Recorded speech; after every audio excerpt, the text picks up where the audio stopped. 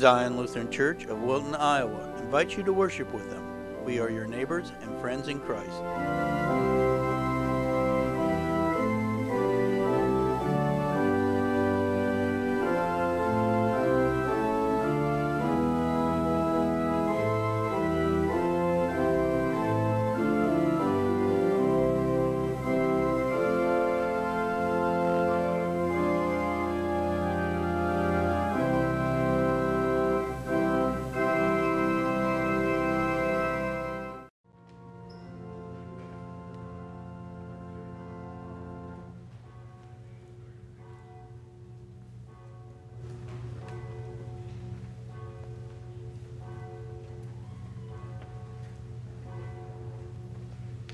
Good morning.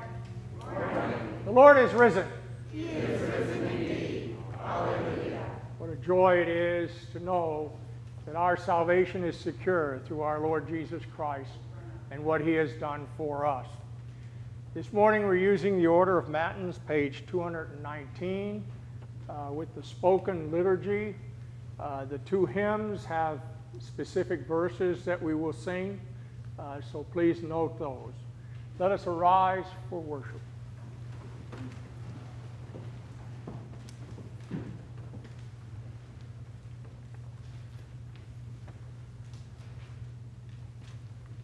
O Lord, open my lips. Make haste, O God, to deliver me.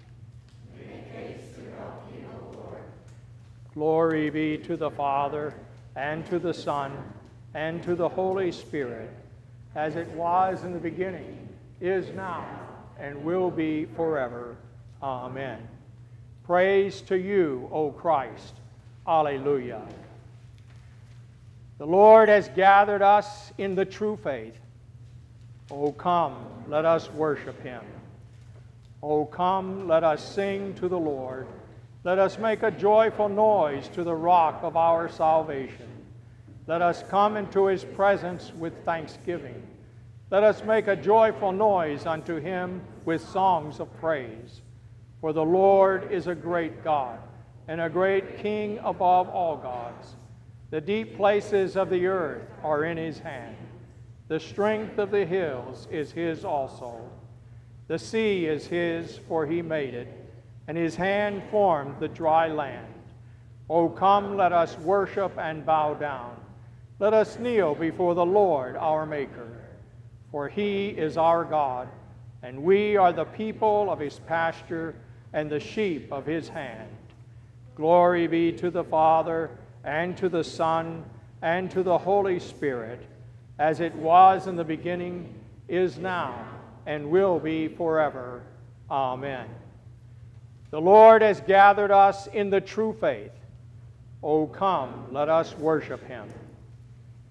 Psalm 33.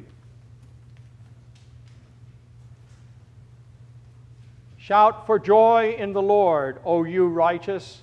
Praise befits the upright.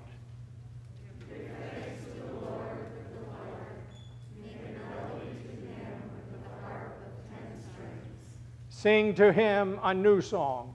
Play skillfully on the strings with loud shouts.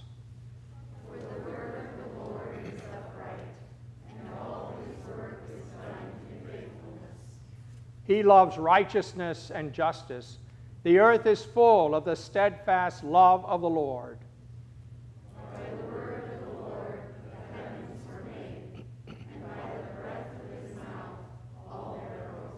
He gathers the waters of the sea as a heap. He puts the deeps in storehouses. Let all the earth fear the Lord. Let all the inhabitants of the world stand in awe of him. For he spoke, and it came to be. He commanded, and it stood firm. The Lord the counsel of the nations. He frustrates the plans of the. The counsel of the Lord stands forever, the plans of his heart to all generations.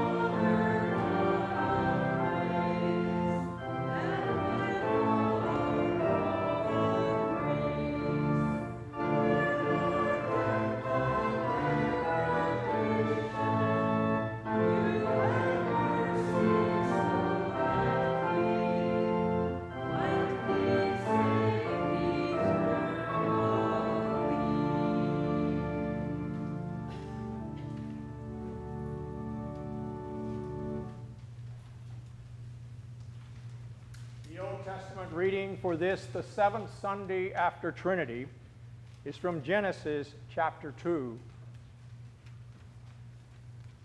Then the Lord God formed the man of dust from the ground and breathed into his nostrils the breath of life, and the man became a living creature. And the Lord God planted a garden in Eden in the east, and there he put the man whom he had formed. And out of the ground the Lord God made to spring up every tree that is pleasant to the sight and good for food. The tree of life was in the midst of the garden, and the tree of the knowledge of good and evil. A river flowed out of Eden to water the garden, and there it divided and became four rivers. The name of the first is the Pishon. It is the one that flowed around the whole land of Havilah, where there is gold. And the gold of that land is good. Bdellium and onyx stone are there. The name of the second river is the Gihon. It is the one that flowed around the whole land of Cush.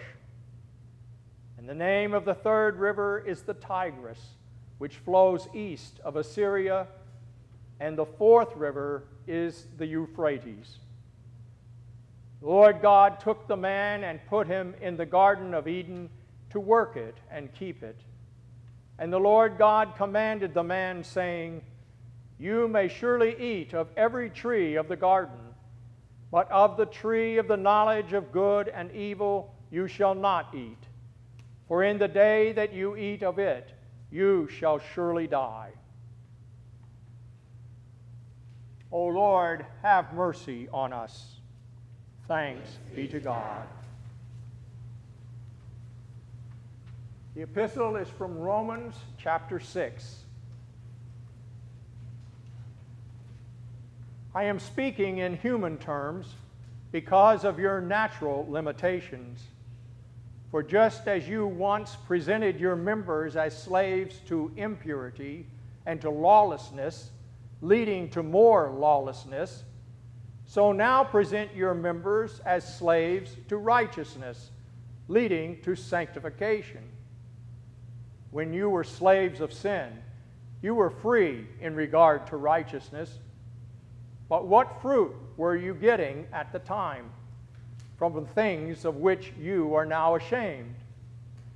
To the end of those things is death.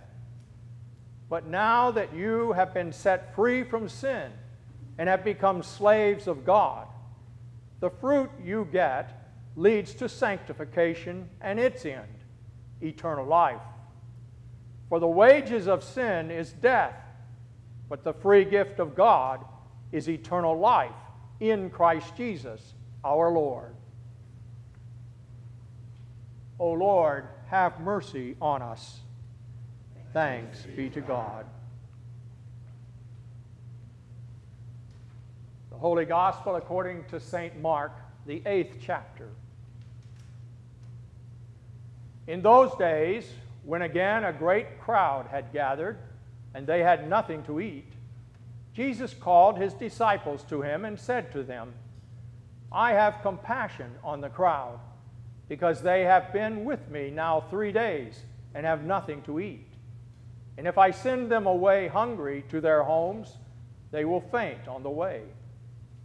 And some of them have come from far away.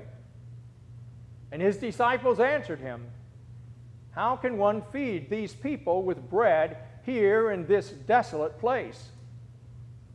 And he asked them, How many loaves do you have? They said, Seven. And he directed the crowd to sit down on the ground. And he took the seven loaves, and having given thanks, he broke them and gave them to his disciples to set before the people. And they set them before the crowd. And they had a few small fish. And having blessed them, he said that these also should be set before them. And they ate and were satisfied.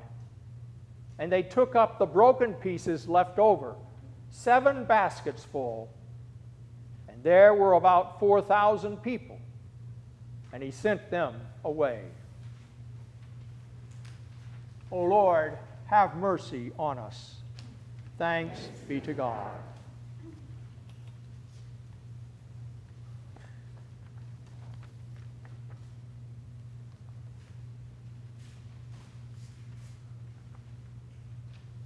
Forever, O Lord, your word is firmly set in the heavens.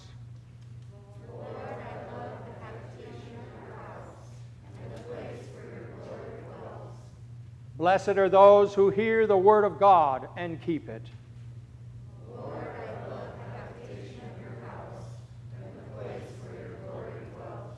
Glory be to the Father, and to the Son, and to the Holy Spirit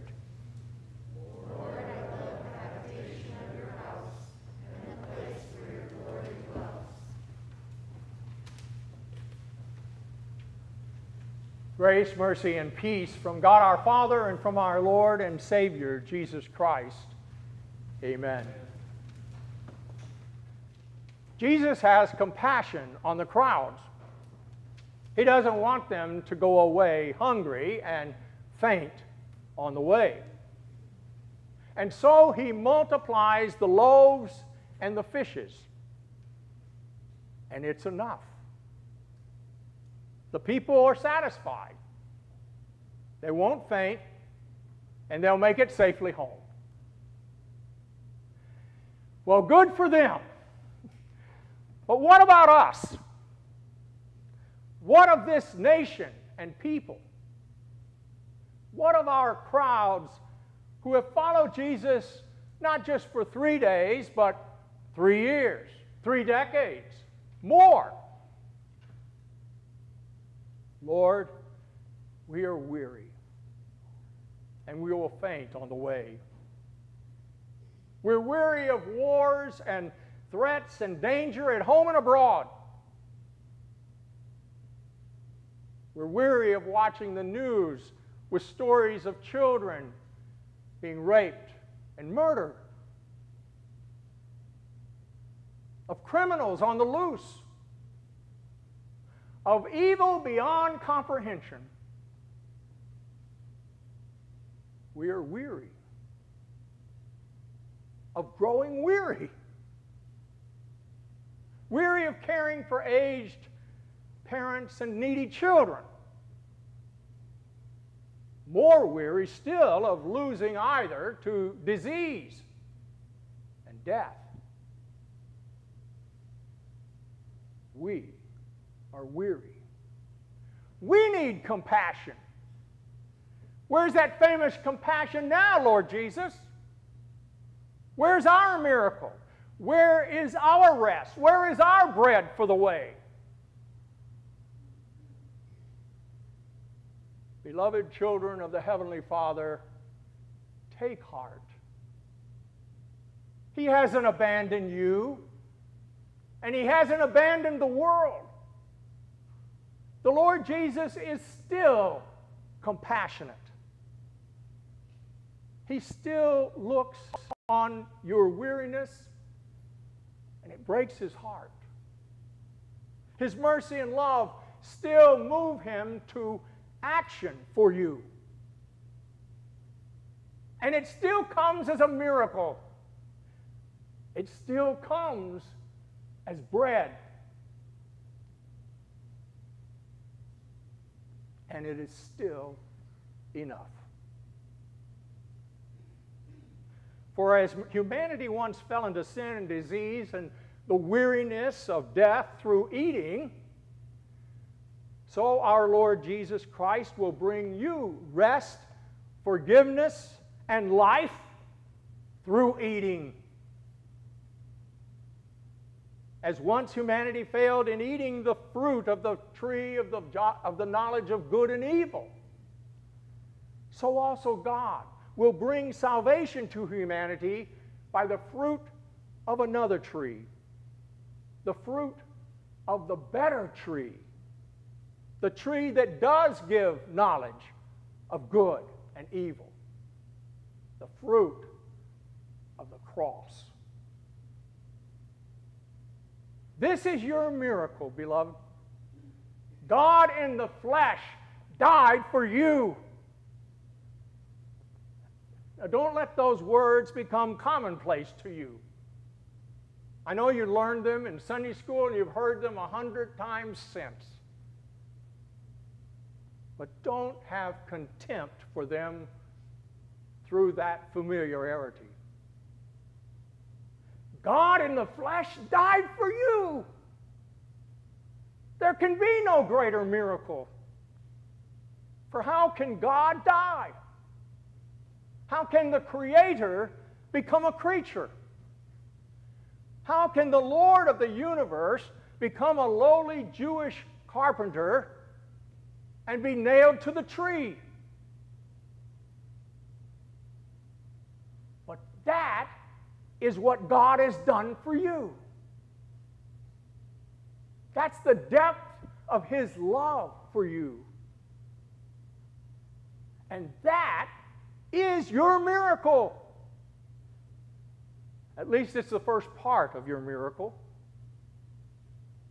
For it wasn't enough that Jesus, for Jesus to die on the cross and rise for you.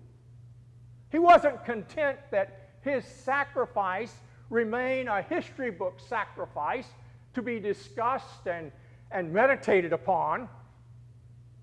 His love for you moved him to connect you to his sacrifice, to deliver his sacrifice to you.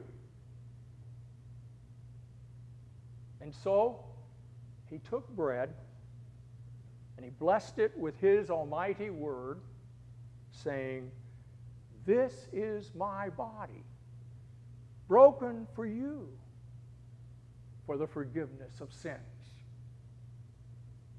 And he gave it to his apostles to distribute to you.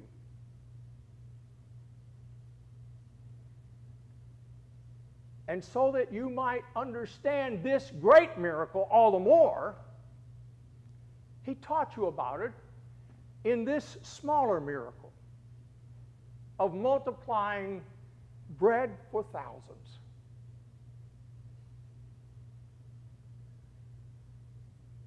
In this miracle in the gospel, bread gives life and sustenance to the people on the way home. In the Lord's Supper, the bread of heaven, that is Jesus Christ Himself, in His real and true body and blood, gives life and sustenance to those who are weary as they travel to their home with God in the resurrection on the last day. In the gospel miracle, what is so very little, just a few loaves, feeds thousands. In the Lord's Supper, by faith, we profoundly, we ponder humbly over this surpassing wonder that the bread of life is boundless though the souls it feeds is countless.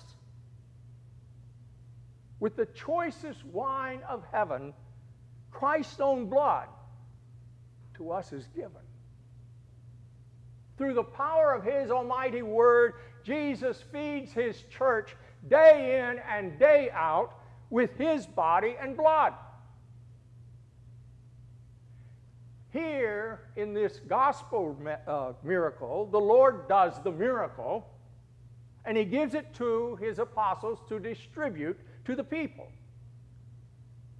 And so also in the Lord's Supper, the Lord's word performs the miracle as the servant of the Lord distributes to the people the miraculous bread of heaven, the Lord's Supper.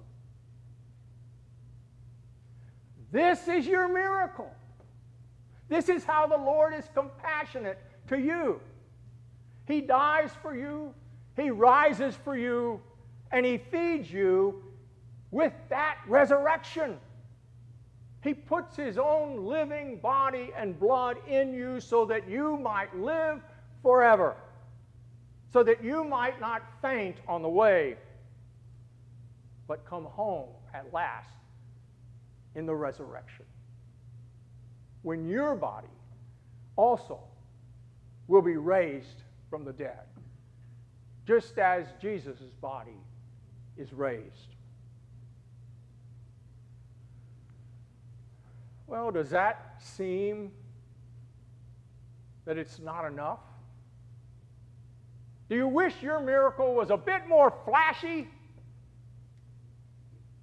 Are you somewhat disappointed that all Jesus has for you is his resurrection and the Lord's Supper? Do you, do you wish for a, a few miraculous healings? A few plain old bread multiplications as well? Well, beloved, consider this.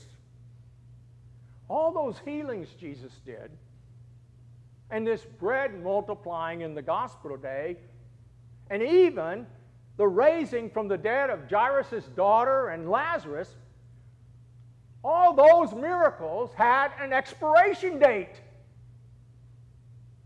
Every person Jesus healed of blindness eventually had his eyes darkened again in death.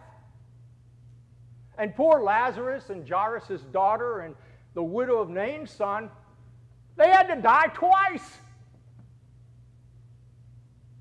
If the point of being a Christian if the goal of following Jesus was to receive such temporary relief, such transient miracles, then what would make Jesus better than the Mayo Clinic?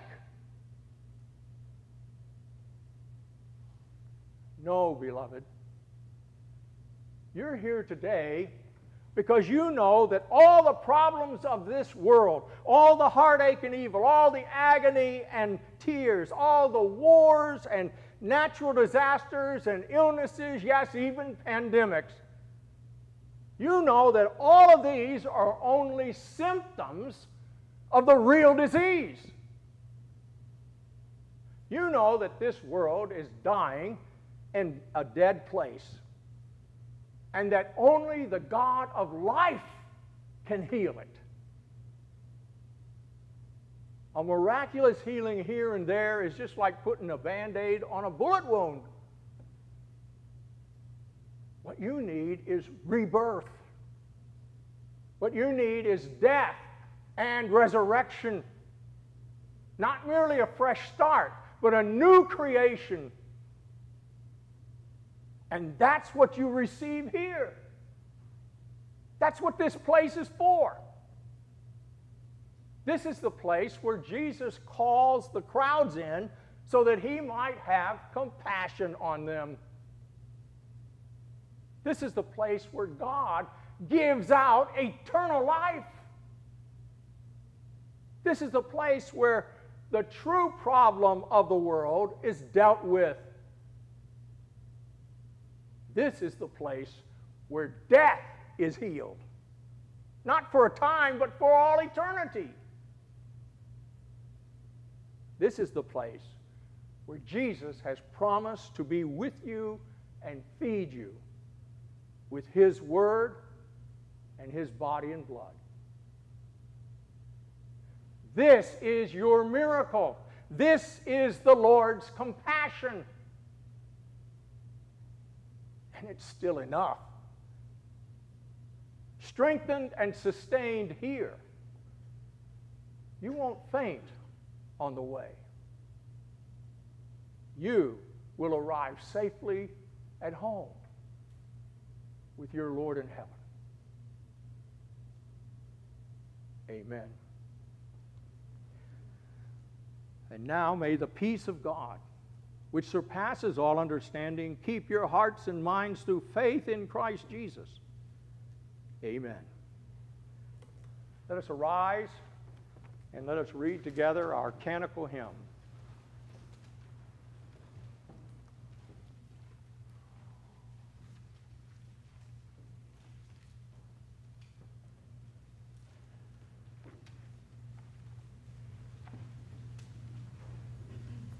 We praise you and acknowledge you, O God, to be the Lord, the Father everlasting, by all the earth adored.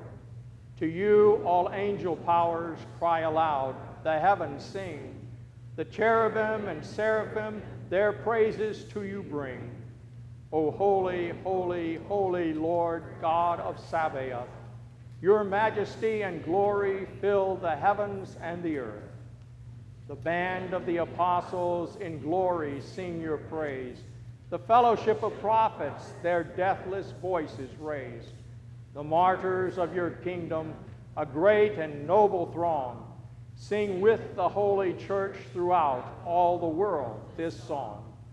O all majestic Father, your true and only Son, and Holy Spirit, Comforter, forever three in one. You, Christ, our King of glory, the everlasting Son, yet you, with boundless love, sought to rescue everyone. You laid aside your glory, were born of virgin's womb, were crucified for us, and were placed into a tomb. Then by your resurrection, you won for us reprieve. You opened heaven's kingdom to all who would believe. You sit in splendid glory, enthroned at God's right hand, upholding earth and heaven by forces you command. We know that you will come as our judge that final day. So help your servants you have redeemed by blood, we pray.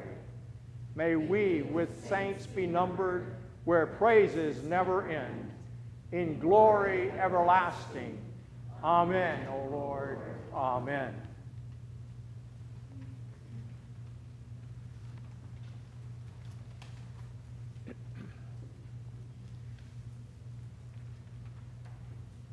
Lord, have mercy. Christ, have mercy. Lord, have mercy. Our Father, who art in heaven, hallowed be thy name. Thy kingdom come, thy will be done on earth as it is in heaven. Give us this day our daily bread, and forgive us our trespasses, as we forgive those who trespass against us. And lead us not into temptation, but deliver us from evil. For thine is the kingdom, and the power, and the glory, forever and ever. Amen. The Lord be with you. with you. Let us pray. In our prayers today, we want to re- include Rebecca Zitzel and also Pastor Reinke.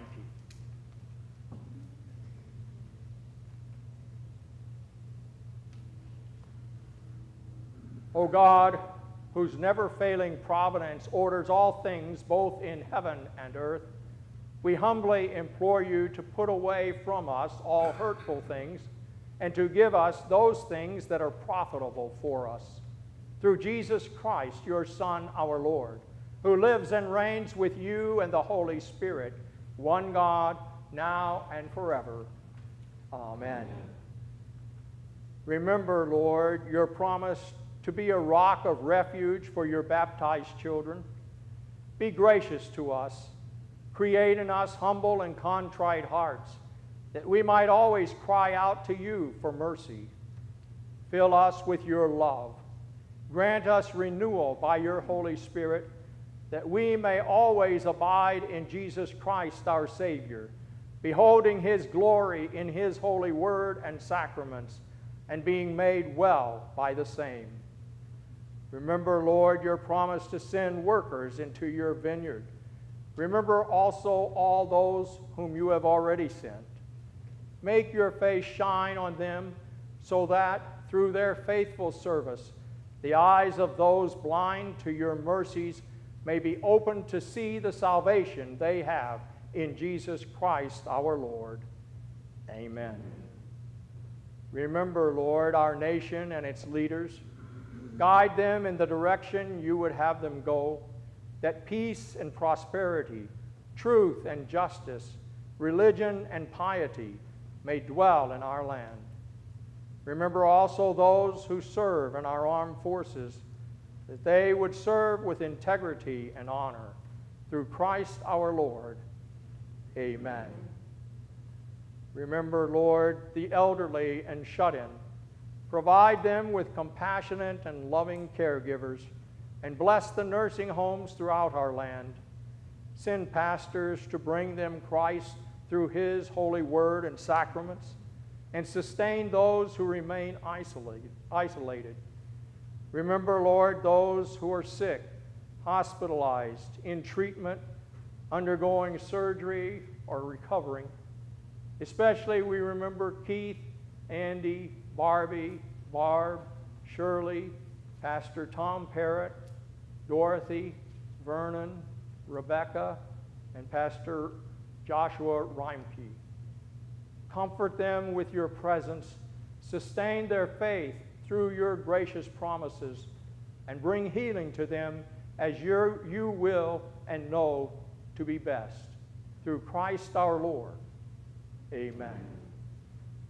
Remember, Lord, your, your promise to fill the wedding banquet of your Son and his bride, the church, with guests clad in white robes. For those who have gone before us and now rest from their labors, we give you thanks and praise. Bring us with them to the day of our Lord's glorious return, that we may all receive the eternal inheritance you have prepared for us through Christ our Lord. Amen. O Lord, our heavenly Father, almighty and everlasting God, you have safely brought us to the beginning of this day. Defend us in the same with your mighty power, and grant that this day we fall into no sin, neither run into any kind of danger, but that all our doings, being ordered by your governance, may be righteous in your sight.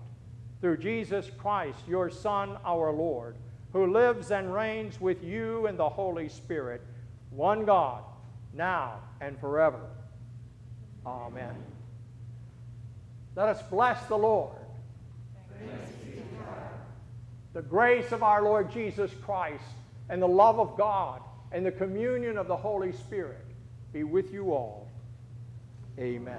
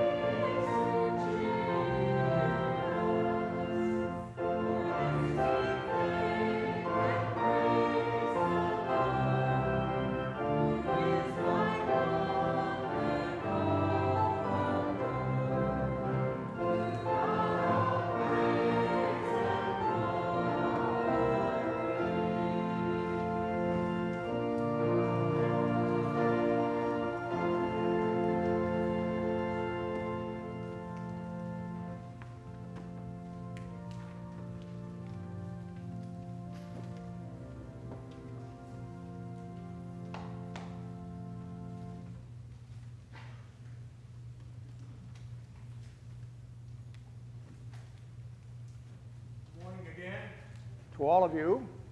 Uh, I'll give you a note that I received concerning Pastor Reinke, if I can find it.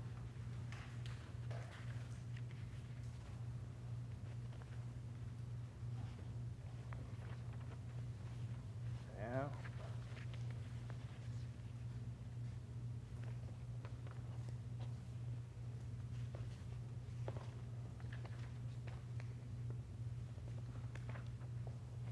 Don't know where I put it now. I needed to read it because it was a little involved. I knew I had that out here.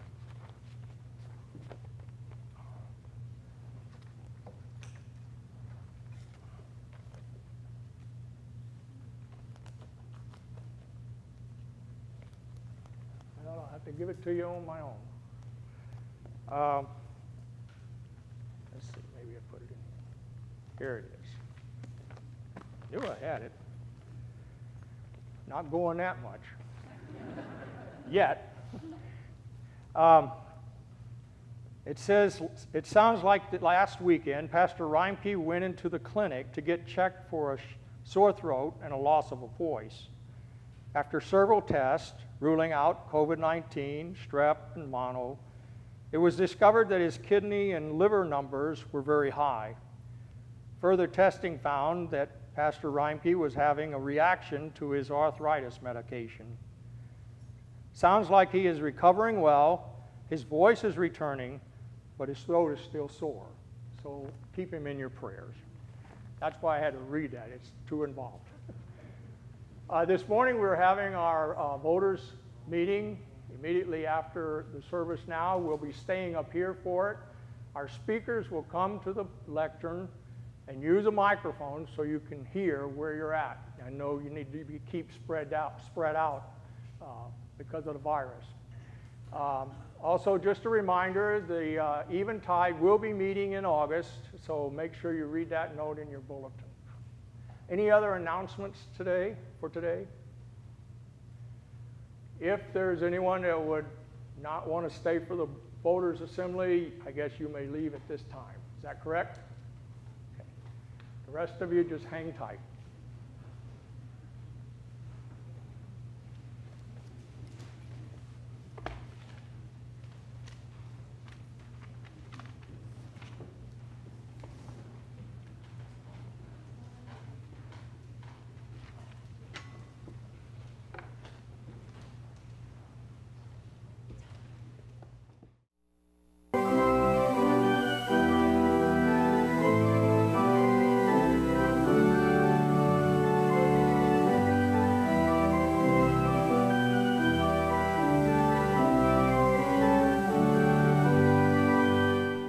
Contents and views expressed do not necessarily represent the views of this cable company or its commission.